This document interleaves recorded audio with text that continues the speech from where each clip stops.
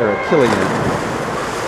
Lacey Locke from Carmel Swim Club, Stephanie Junker from the University of Louisville in lane three, Brooklynn Snodgrass from Canada in four, Julia Giroto from Brazil in lane five, Melanie Claren from Mission Viejo in lane six, Lindsay Morton in lane seven, and Christine Christine Eng from the Scarlet Aquatic Club in lane eight, the 400 meter individual a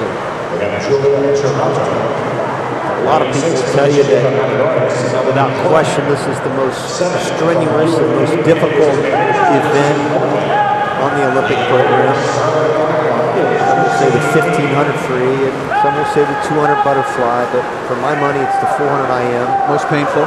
Most painful. It can be. I mean, I, I think if you ask a lot of swimmers, depending on what kind of shape they're in, it can be a very fluid event but if you're not in shape, boy, you, you can have a lot of trouble. The problem is you're, you're, you're changing muscle groups with every hundred. You're going from a predominantly upper body stroke or the first two strokes to a lower body effort with a breaststroke and then back to upper body with freestyle. So Brooklynn Snodgrass from Canada in lane four, currently in second. Julia Girado from Brazil. Mentioned 25 countries represented and this is the fourth uh, Grand Prix on the USA Swimming Series. 100 meters of each butter, back, breast, and then freestyle coming home. Boy, a very close group. Melanie Claren out of Mission Viejo in lane six, also very much in the mix. Final 50 meters of the backstroke. Diane, especially the 200 IM, is so much fun to watch because the lead can change hands so many different times. You've got some swimmers with their strong strokes up at the front, some in the middle, some in the end. So you see a constant lead change, much more so than any other events. Snodgrass from Canada in lane four, currently leading Melanie Claren in lane six. But it's going to be very close at the turn. Next 100 meters, breaststroke. And in between them, Julia Girado from Brazil in lane five, currently third.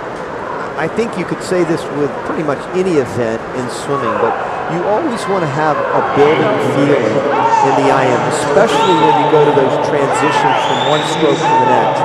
And, and if you ask the very best, it's almost like you're going into a finish of a race into each one of those walls. And, uh, and the best example that I give you is Ryan Lochte, uh, the world record holder in the 200 IM. He always talks to me about building each 50 or building each 100 in a 400 IM to have that feeling so you have great momentum going from one stroke to the next. Talked about Phelps and some of the other uh, competitors. Vollmer, for example, going to Australia, Phelps going up and training at altitude. But how about from a course perspective? A lot of these, particularly the younger swimmers, are swimming a lot of 25-yard short course events, and now they're coming out to the Olympic distance pool. How much of an adjustment is that? It's a big difference. It's a big adjustment because primarily here in the United States, anyway, we only have 25 yard pools. There's not a lot of 50 meter pools to train in. And so, yes, they, a lot of these kids are coming from high school programs where they're coming from yards. And, and really, for some, this is the first time they're actually swimming in a 50 meter pool since last summer. So it can be a big transition, big adjustment. A lot of them handle it beautifully. You know, they can use those walls, and, and uh, but some of them have a hard time. I had a hard time today. I swam in this pool earlier today. Let me tell you.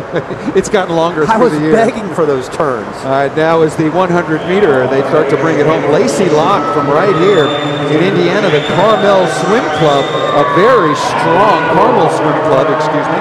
Uh, a very strong breaststroke leg has taken the lead. Brooklynn Snodgrass from Canada in the middle of the pool, and right now they're battling it out. In lane three, Stephanie Junker from the University of Louisville. Strong so far through the first 50 meters of her freestyle. Well, right now, Locke is well on her way to go break five minutes. She was 5.02 in the prelims. And that is her personal best, 5.02.49. Yeah, you see her right there. She's looking very strong, though. Keep an eye up there in lane number four. Brooklynn Snodgrass from Canada. In lane two, Lacey Locke, who just turned 15 with a slight lead. With a slight lead, Lacey Locke out of Carmel, Indiana. In lane two, looks like she's going to take it, push it towards the wall, holding off Brooklynn Snodgrass from Canada. So an excellent and very tightly contested. That's Julia Dorado from Brazil was right in there. And then uh, Lacey Locke took the lead during the breaststroke and never gave it up. That big C, the folks in Carmel will be very, very happy.